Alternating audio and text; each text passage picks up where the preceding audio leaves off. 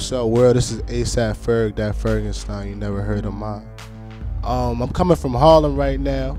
Well, when I was younger, I used to write poetry in English class. I guess that was another way to, to figure out like where the young people minds were back then. And um, versus me just writing like regular about how my day was or how my morning is going, I would write poetry because I knew we was gonna have to go in front of the class and recite it. And I knew that was what made all the girls smile. So I just wrote that poetry and I would say it in the form of rap. So that's how I started rapping. I didn't even find ASAP. ASAP found me. Like it was Harlem. We was a bunch of young creative people. We kind of leaned on each other when people looked down on us we was all weirdos. They like, who these weird motherfuckers in Harlem these tight ass jeans, these Rick Owens. They don't know that we paid two thousand dollars for these sneakers and five hundred dollars for our t-shirts. What you talking about? We knew what we wore. We knew how how to speak to each other. We knew how we had our own language. We all hung out downtown. And actually, Bari, Bari, the young Lord, he was like, yo, I got a crew called ASAP. He was like, yo, I want you to come fuck with us. Like, you know, we, we be on the downtown scene. Like basically shit that I'm into, shit that we do now. we been doing this shit. we been a crew. We wasn't even rapping and we was just mobbing. You already know ASAP Ferg and the place to be. How that's motherfucking boy. It's my birthday. I'm just happy to be here. I'm God. I mean, I'm blessed and I'm God. But um, check this out though. Check the new Versace's out. We got the black faces. We were African American for 2012. 2012. How that's my boy ASAP Ferg.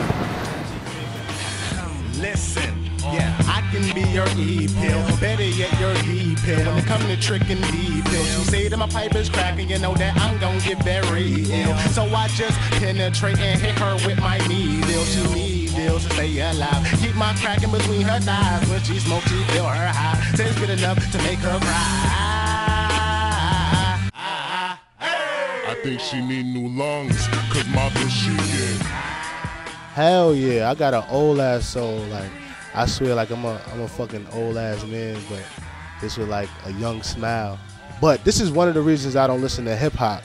I don't listen to like unless like my friends play it around me or something like that. I'm like, oh, that's just fire.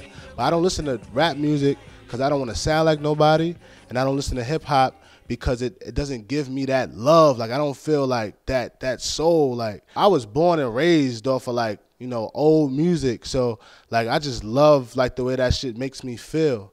So I, I mix that in my music. Like when you see me when you see me go in on Funkmaster Flex and you hear me singing and, and all of that shit, motherfuckers feel that shit and they be going crazy. He be dropping bombs on that shit because he feel that shit. He know where that shit come from. He may not know that I know where it come from, but he know that feeling when he hear it and he see it. So that's what I just want to convey to the people.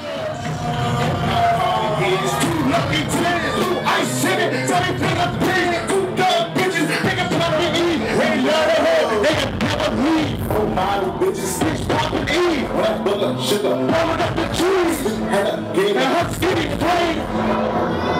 Dirty fucking by my friends. Story another.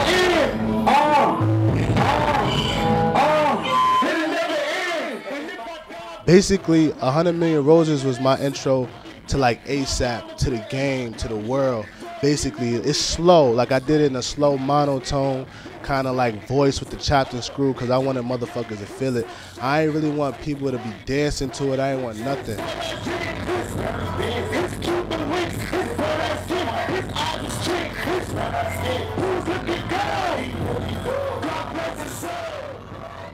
This stems from when I was younger because uh, my father, he was also, his name was also D. Ferg. He was uh, one of the founders of a clothing line called Ferg Apparel.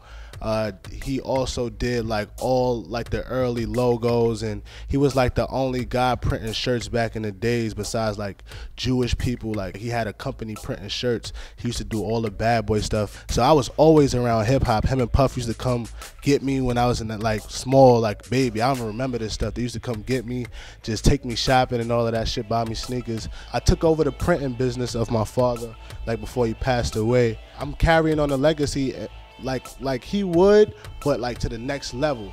Like futuristic. I'm all about like you know mixing the Renaissance with like that like the future wave. So like you will you'll see like a lot of that stuff reflected in my music. That's just me. I just I like I, I like to mix like all the generations and put them together so everyone to have this stuff to relate to. And that's what I want to do. I want to make everybody love again. Like I feel like you know all the little kids is running around fucking and shit, but they're not making love no more. So that's what I want to do. I want to bring that love back to the game. Hey yo, world, this is ASAP Ferg. Shout outs to Blow TV. Shout outs to ASAP. Shout outs to the Maybachs. Make it laid back. Spray that.